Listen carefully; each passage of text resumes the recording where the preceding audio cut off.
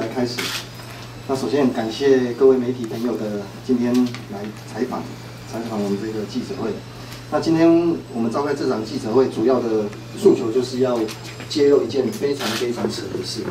就是说，呃，有民众跟我们呃反映啊，反映就是说，呃，因为现在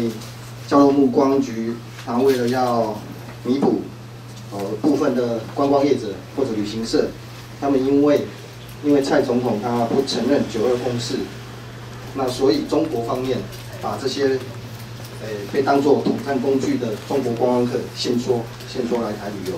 所以观光局哦制定了一个一个补助要点，要来补助这些业者哦，有三亿元。那这个要点等一下也会当做附件给大家，那电子档也会给大家。那但是呃，就说我们发现有一个情况，就是有民众反映说，有旅行社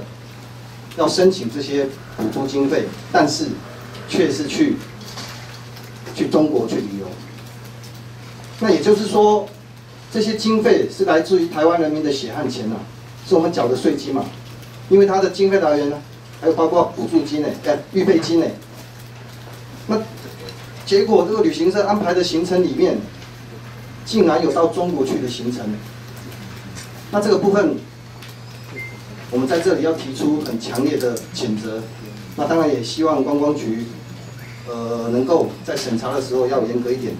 这是我们今天召开这场记者会主要的诉求。那首先由我们今天的这个主讲，我们的文宣部主任陈嘉玲主讲。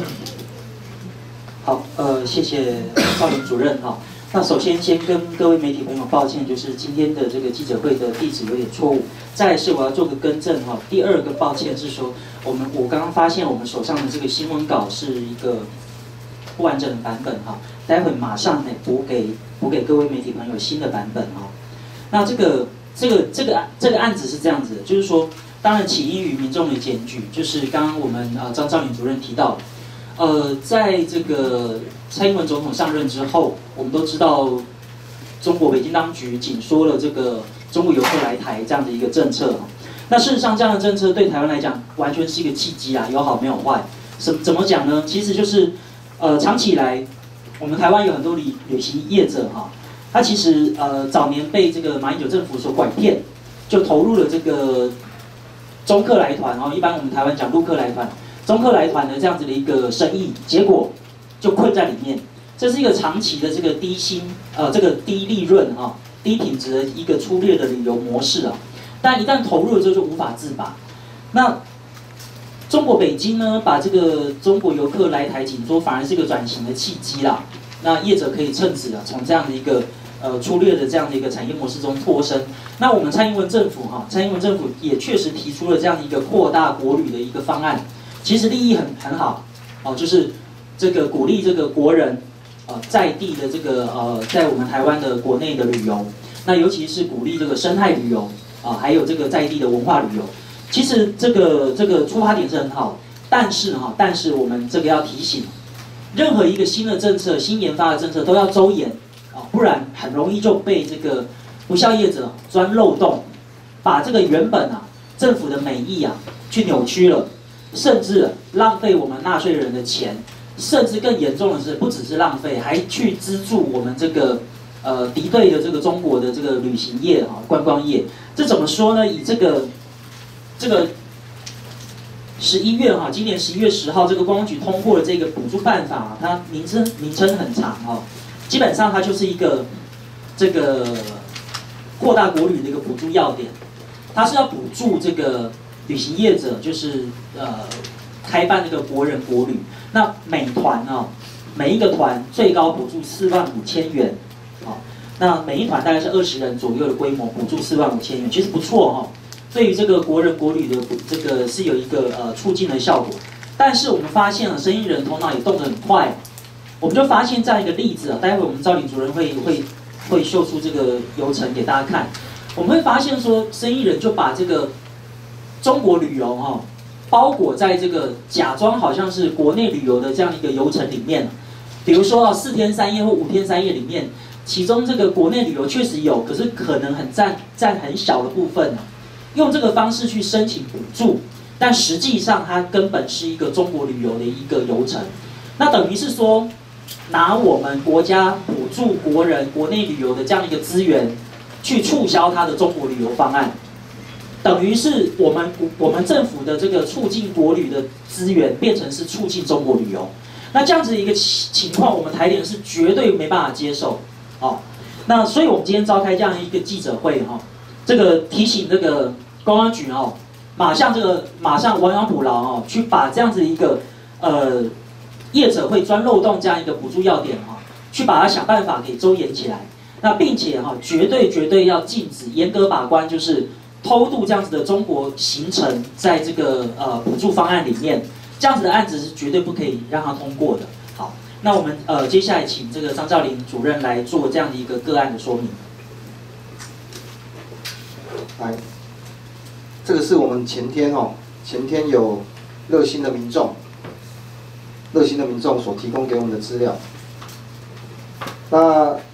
他是说，这位民众他因为他不愿曝光了，本来想说请他呃现身来说法，但是他想说因为他个人的关系，所以他。呃，请我们呃呃把这个事情披露，就是说这一家富豪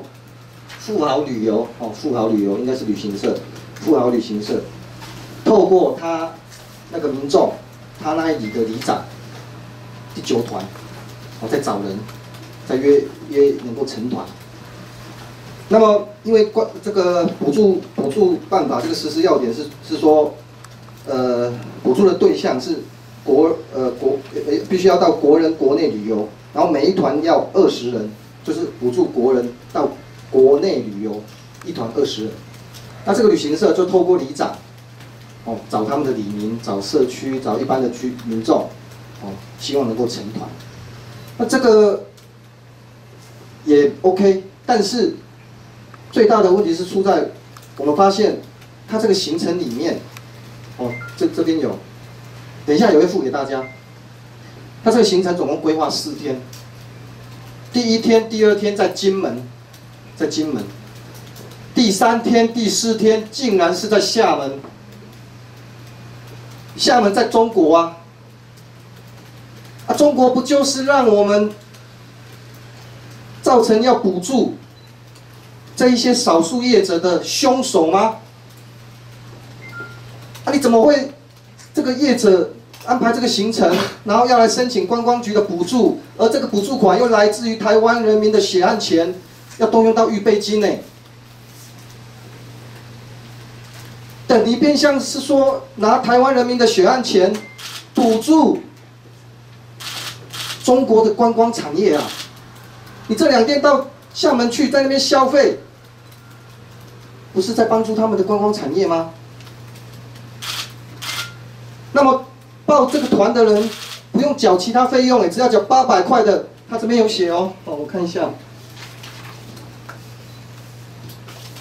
只要缴八百块的导游领队小费，他这边都有写，也就是说其他钱都不用缴，他只要缴八百块的导游领队小费，在这个行程看起来是这样。那么这个行程是这个旅行社在九团。哦，在找人来参加这个这个行程的宣传的用的，那我们当然怀疑这个旅行社他会不会完整的将这个行程报给观光局知道？大家听懂吗？就说他会不会有可能只报金门两天，用前面第一天、第二天在金门的旅游去申请补助，但是第三天、第四天他隐匿，他不讲，在。报的时候他不讲，变相的诈欺补助款，也欺瞒政府。我们当然不排除也有这个可能。那所以这个问题又又回来了，又回到观光局的身上。所以你你这个办法你定的要很严谨啊，你有没有任何的查核机制？我们看到这个实施要点。等一下，也会电报电子档都会付给各各位，这是公开资料，然后网网络上也都找得到。但等一下我们会纸本跟这个电子档都会给大家。它这个实施要点，其实定得非常的宽松啊，里面几乎可以说没有什么什么很严谨的查核方查核机制。它这边有一个第五点，第五项审核基准，第一项，旅游团体需提供可知辨识之一般旅游点或生态旅游地之团员彩色合照，每团需提供至少每日一张景点团体照片，另有安排生态旅游行程者，每一景点需减负一张照片。他的意思就是说，啊，你之后，哦，他事先要提出申请没有错，但是你之后，哦，真要再来再来申请的时候，就用照片就可以了，就照片，审核机制就是照片呐。啊，那对旅行社来讲，这这这太太简单了嘛。我在金门两天，我就用金门的照片啊，但是后面两天我带到厦门去，去消费。然后消费，当然我们都知道旅行业公开的秘密啦，有有去去消费去特定的店有有合作的店，那有可能会会有一些回馈嘛。所以观光局本身这个部分实施要点就定得非常的不严谨，那这一点我们当然也要批判跟谴责。我们要提醒观光局亡羊补牢，赶快赶快。现在已经产生，实际上发生这个情况了，已经有不孝业者，企图可能要欺瞒你，要来诈领补助款，要来拿台湾人民的血汗钱，到敌国去旅游，到敌国去发展敌国的观光产业，台湾人民绝对不可能容许这种情况发生。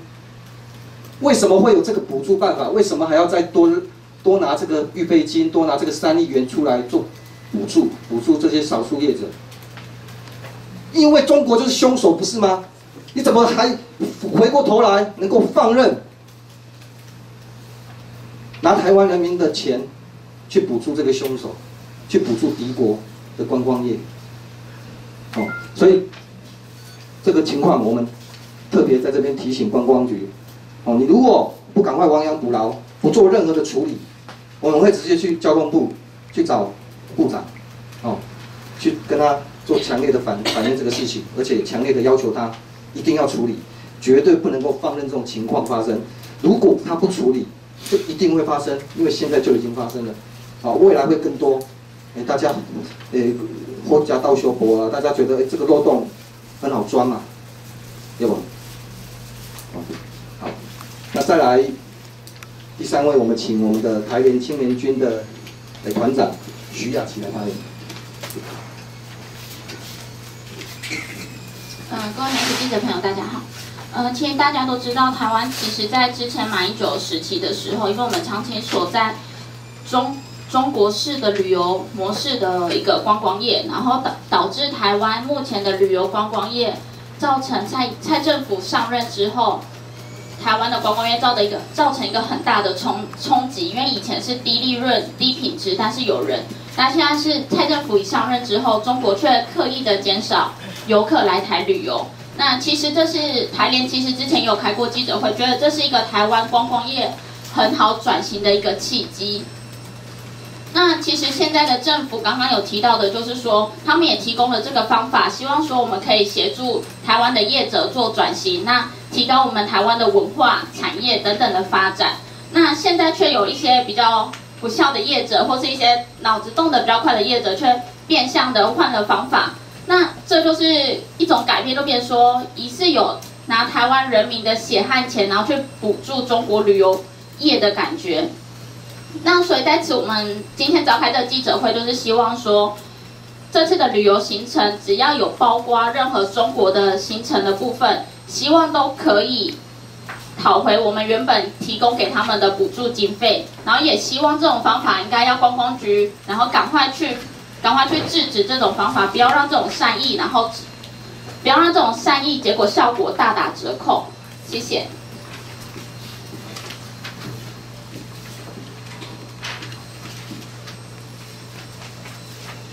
这个中国观光客。已经沦为中国统战工具，所以其实对台湾的观光业帮助并没有很大。好。这一点我们也希望台湾政府要很清楚这一点，因为这牵涉到的是台湾国家安全的问题啊。那我们再一次在这里，要再呼吁观光局，要正视这个情况，赶快把这个补助办法不够严谨的地方，最重要的是查核的怎么怎么样落实严格的查核，不要让这种这种欺瞒或者说意图用补助款到中国到台湾的敌国去旅游去发展他们的观光产业的这个情况让它发生，哦，一定不能让它发生。然后如何来惩处这些不孝的业者？我们希望观光局也要有具体的回应跟说明。如何惩处少数的这种不孝的业者？那刚刚我们的雅琪也有讲，那些一条龙的业者，中国观光一条龙的业者，趁这个机会赶快转型，赶快转型，赶快来发展，不要不不一定要靠政府的补助，哦，用自己的力量来发展国内的高品质的国内旅游，我想这才是正道。然后还有包括发展其他中国之外，欧美、日本、韩国、澳洲等等其他更优质的观光客，不带有统战跟并吞目的的观光客来台湾，真正做真正的旅游，这样才是正道。好，这是我们今天记者会的一些诉求。那不知道在场的媒体朋友有没有什么问题？是台北市，台北市。那哪一个里，他是希望我们不要说了，哦，因为这个资料也是他就说私下提供给我们的，哦，他提供我们三张，那是他的里长在约，然后他有就找找有找他，然后他把这个资料这个提供给我们。不好意思，那个已经成型了吗？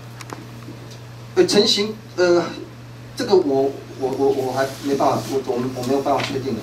对，只是说有这个情况，他可能现在还在约啦，因为才前前天的事情嘛，对，前前天他把这份资料拿给我们，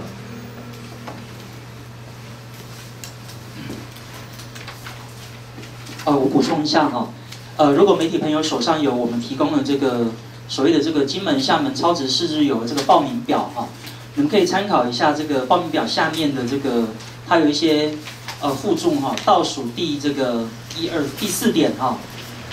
倒数第四点这很有趣哈，这个业者特别强调，此团团进团出哦，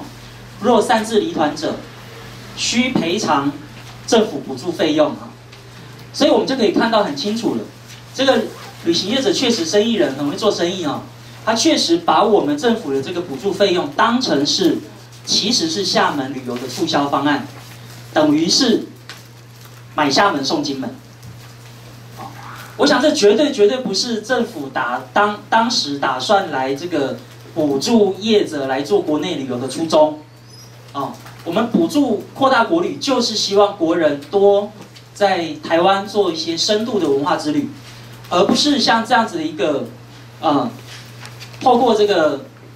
买厦门送金门的方式，变成是我们的国内旅游变成是一个附属赠品，哦、让旅游业者去促销他的中国旅游游程，而这完完全全是一个变相的一个做法。哦，好，谢谢。哎，我补充一下，这家旅行社叫富豪旅游，哦，它这边这个这个纸本上的资料，这边都有它的它的公司的名称，富豪旅游，富豪旅游。那我们再强调一次，这四天的行程，我们希望，我们要求，强烈要求观光局一定要落实四天，既然有四天的行程，四天都要在国内，台湾的国内。你可以两天在金门，两天在马祖啊，两天在金门，两天在澎湖啊。那、你为什么要两天要安排到厦门去？哦，那这个情况一定不能让它发生。那还有没有其他问题？请问一下，旅行社部分有跟他们接洽，有没有或是他们有一些什么样的说法吗？哎，没有，我们还没有跟他们接洽。对，那我觉得这个补助的申申请跟发放，全职还是在交通对交通部观光局啦。我觉得观光局才是重点，只要它源头管控，哦，包括查核等等做好，那下面不孝业者他要怎么弄，我想都没有办法嘛，对，不能这么宽松的就随用一张照片、几张照片就可以申请了。目前了解到全台湾北中南都有这种现象吗？还是目前就掌握台北市？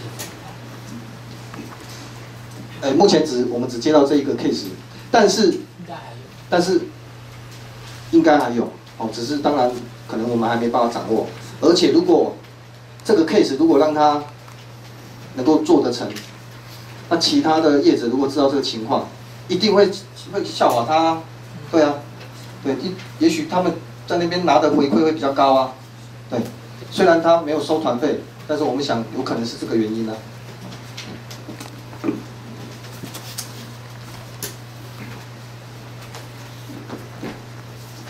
还有我们媒体朋友还有没有其他问题？